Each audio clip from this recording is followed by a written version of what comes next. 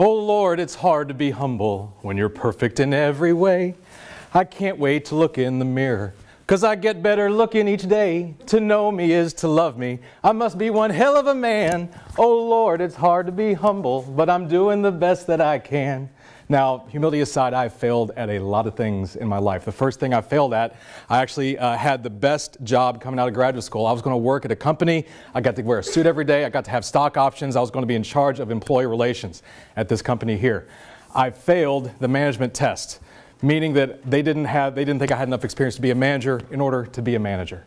And so the ironic part was the test was made by a bunch of biopsychologists. My friends from high school and one of my close uh, teachers from high school at my graduation at Georgia said, What are you getting your PhD in? Uh, industrial organizational psychology. So you failed a test that you are having a PhD in in order to make. I said, Yeah, I did. Very humbling, very ironic. It's another thing I failed at a lot in my life up until recently. And if you, uh, and every time I failed at it, I've always heard these five words. We're going to play Wheel of Fortune uh, you'll, uh, I'm going to have you guess what five words I heard each and every time uh, that I heard that. So you ready? What are, what are the five words? It's not it's not, see, even you were there. It's not you, it's me. Now, if you think about it's not you, it's me, where's the spotlight on that? If somebody's, if I'm dumping somebody, it's not on you, it's on me. And folks, we as humans, we have been geared to think about it's not you, it's me all the time. Back when we were five, we thought about my skills, my talents, my abilities got me my first job. It got me great grades. All those things made me successful. When we become individual contributors, no, whether we are salespeople, uh, researchers, chemists, IT people, anybody, lawyers, doctors, nurses, anybody, the things that make them successful are about me, myself, and I. And that's what makes them successful. And that is the reason why transitioning into leadership is so difficult. And that is where my passion is. And we are failing these people because if you think about it, people who are leading for the first time, they are people who have been successful individual contributors, and they are part of the biggest population of leaders right now frontline managers, entry level supervisors, first level managers. They have the biggest impact on customer satisfaction, employee engagement. They lead the majority of the workforce. They lead more people than any other people in the organization. They are your bench strength today. They are your next generation of leaders. And we are failing them because if you look at the numbers, 60% of people who are managing for the first time don't get anything in training development. It is the biggest psychological shift that you will ever make in your life, and we're not setting them up for success. We're setting them up for failure. And those small minority who actually do get training get way less than do middle level managers or senior level, senior level executives. We need to help them. So that's what stirred my passion around helping them. This to me is the Mona Lisa. Uh, this is uh, uh, polynomial regression with response surface analysis. Quant geeky researchers like me, this is, this is beautiful. And this is what we found in MLP. What, what this really means is you have to flip your mindset about things.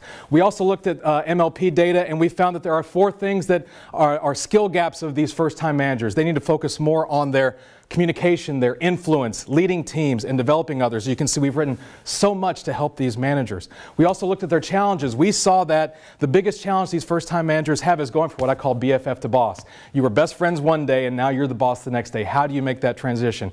And folks, if we are not training them, we are setting them up for failure. We need to flip that perspective and think about how we can do that. So we all have to make a choice. I tell the first time managers I train, the ones that I work with, you have a choice.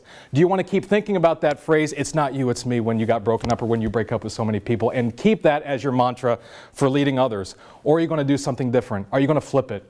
Are you going to say, it's not about me anymore? It's not about my skills and my talents. It's, my spotlight is going to be shining on you, the people that I lead, and the people that I serve. Now, the hard part, as I said before, it's not ingrained in us. I mean, look at sports people who said, you know, I will never use drugs, I'll never use performance enhancing drugs to get the records and break everything, and they do. And as you can see, it literally does increase your head if you do use those PEDs. Those are before after pictures. But it's not just in sports either, it's in leadership. It's people like Ken Lay and Bernie Madoff. It's people like uh, Martha Stewart. It's people like Lance Armstrong who had that it's not you, it's me attitude, and they never flipped it. And they've hurt so many lives in the process. So that's why I want people to think about what can you do? You can flip things you can flip your script. The script of individual contributors is all about me, myself, and I. Flip it. These are the uh, six things through the research your mindset, your skill set, your relationships, your definition of work, your perspective, and your focus. Those are the six things you need to flip. You can do that, you can be successful. So, what I hope you do, the failures that you have, I flipped into my passions. My failures led me here. My failures led me to the, the woman of my dreams who I married. And my failures have led me to the official title that Berrett-Koehler we're going to have for my book coming out in September Be the Boss Everyone Wants to Work For A Guide for New Leaders look for in September. Thank you.